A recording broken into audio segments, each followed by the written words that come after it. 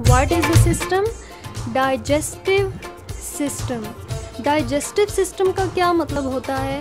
कि आपकी जो फ़ूड है ठीक है वो आपकी बॉडी में किस तरह हज़म हो रही है? ओके स्टूडेंट्स क्या, क्या मतलब इस सिस्टम को आप क्या कहेंगे? डाइजेस्टिव सिस्टम क्या कहेंगे? डाइजेस्टिव सिस्टम ठीक है? तो अभी मैं आपको बताऊँगी कि आप कैसे अपनी फ़ूड को ईट करते हैं और वो कैसे आपकी बॉडी में डाइजेस्ट होती है with the help of diagram firstly you can see the picture of digestive system ठीक है? सबसे पहले आप क्या करते हैं? अपने माउथ में यहाँ से आपने फ़ूड एंटर की। ठीक है स्टूडेंट्स यहाँ से फ़ूड एंटर करने के बाद आपके जो टीथ होते हैं और आपके मौजूद सॉरी माउथ में मौजूद स्लाइवरी ग्लैंड्स आपकी जो फ़ूड है उसको च्यू करते हैं दांत, ठीक है? और स्लाइवरी ग्लैंड्स उसको क्या करते हैं? उसको मॉइस्ट करते हैं, ठीक है? मॉइस्ट करने के बाद उसको आपकी जो फ़ूड पाइप है, उसमें सेंड कर देते हैं, ठीक है? यानी यहाँ से आपने निगला, नवाला, ठीक है? तो वो कहाँ पर आ गया आपकी फ़ूड पाइप में? ठीक है? यहाँ से मेरा बेटा, आपकी जो फ़ूड पाइप है, यहाँ से फ़ूड होती हुई कहाँ आ जाती है? आपके स्टमक में आ जाती है, ठीक है? यहाँ पर मौजूद गैस्ट्रिक जूस और हाइड्रोक्लोरिक एसिड आपकी फ़ूड को क्या करते हैं? डाइजेस्ट करते हैं। ठीक है? यानी उसकी मज़ीद क्या करते हैं? ब्रेक डाउन करते हैं, उसको तोड़ते हैं। लेकिन सारी डाइजेशन यहाँ पर नहीं होती, ठीक है? यहाँ पर आपकी कुछ फ़ूड डाइजेस्ट होती है और फिर आपकी जो फ़ूड है वो आपके स्मॉल इंटेस्टाइन में एंटर हो जाती है, ठीक है? ये जो अंदर वाला एरिया है, ये आपका स्मॉल इंटेस्टाइन है। यहाँ पर आने के बाद आपकी फ़ूड कम्प्लीटली डाइजेस्ट हो जाती है।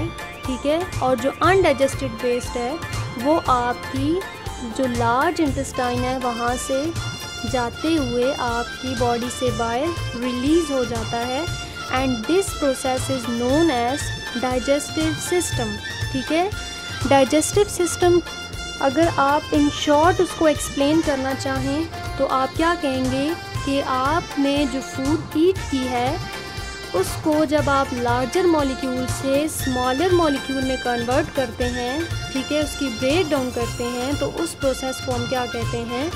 Digestive system okay students what is the name of this system digestive system okay no we will study the next okay the next one is your nervous system what is nervous system अच्छा तो nervous system क्या होता है? ये आपकी nerve और आपके brain का काम होता है, ठीक है? इसके दो इंपॉर्टेंट कंपोनेंट्स होते हैं और वो कौन से होते हैं? एक, आपकी बॉडी में मौजूद नर्व्स और दूसरी, आपका ब्रेन ठीक है? अब आप ये जो है वो सोचें कि आपने आप किचन में गए हैं, ठीक है? आपने कप जो है हॉट कप है, ठीक है? उसके अंदर आपने फ़ौरन मतलब आपने टी बनाई है और फ़ौरन से कप में डाल दी तो वो बहुत गर्म है। आपने उसको हाथ लगाया और फ़ौरन से पीछे कर लिया, ठीक है? तो जब आप हाथ लगाते हैं तो जो आपके हाथ की नर्व्स हैं ना, वो क्या करती हैं? वो आपके ब्रेन को मैसेज फॉरवर्ड करती हैं, ठीक है? तो आपका ब्रेन आपको बताता है कि चाय गर्म है और आप फ़ौरन से अपना हाथ पीछे कर लेते हैं। तो नर्वस सिस्टम का काम क्या होता है? आपकी बॉडी में ये मैसेजिंग का काम करता है, ठीक है? आपकी बॉडी को जो है वो एक जगह से, एक सेंटर से, दूसरे सेंटर तक जो है वो क्या करता है? मैसेज फॉरवर्ड करता है। आपकी बॉडी का कोई भी मैसेज आपके ब्रेन में जाता है। और आपका ब्रेन आपको बताता है क्योंकि ब्रेन हमारा क्या होता है? कंट्रोल सेंटर होता है और वो हमें बताता है कि हमने क्या करना है। ठीक है students what is this system nervous system understand okay next system is your excretory system what is excretory system ठीक है? एक्सक्रीटरी सिस्टम का मतलब होता है स्टूडेंट्स कि आपकी बॉडी से जो वेस्ट मटेरियल रिलीज़ होता है। फॉर एग्ज़ाम्पल आप दौड़ते हैं, ठीक है? आपको पसीना आता है। तो वो पसीना क्या है? वो आपकी बॉडी का वेस्ट है, ठीक है? जो क्या होता है ड्रॉप्स की फॉर्म में आपकी बॉडी से बाहर रिलीज़ हो रहा है, ठीक है? बात समझ आ गई? इसी तरह आपने फ़ूड को डाइजेस्ट किया। ठीक है? तो आपकी जो बॉडी को फ़ूड चाहिए होती है प्रोटीन्स कार्बोहाइड्रेट न्यूट्रिएंट्स वो हासिल करने के बाद जो अनडाइजेस्टेड वेस्ट होती है, ठीक है? यानी वो फ़ूड जो आपकी बॉडी को ज़रूरत नहीं होती, वो आपकी बॉडी से बाहर क्या कर देते हैं? रिलीज़ कर देते हैं, ठीक है? इसी तरह आपकी जो किडनी है, वो क्या रिलीज़ करते हैं? यूरिन रिलीज़ करते हैं, ठीक है? समझ आ गई स्टूडेंट्स जी तो that's why this system is known as ex excretory system. What is this system?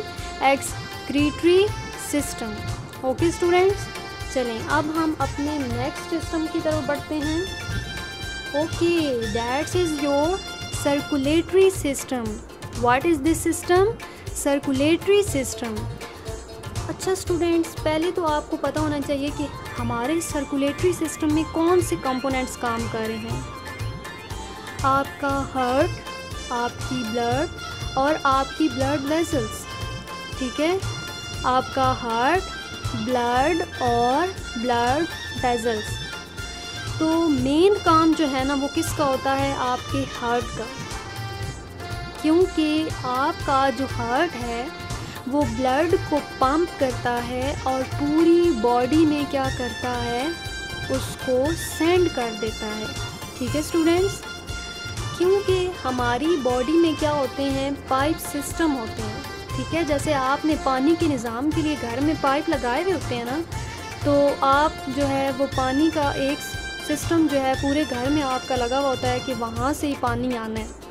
इसी तरह आपका जो हार्ट है ना, इसके साथ आपके पूरे जिसम की अटैचमेंट होती है, ठीक है? एक पाइप की तरह, जिसको आप क्या कहते हैं? आर्टरीज एंड वेन्स वो ब्लड सर्कुलेशन का काम कर रही होती हैं। आपकी पूरी बॉडी में क्या करती हैं?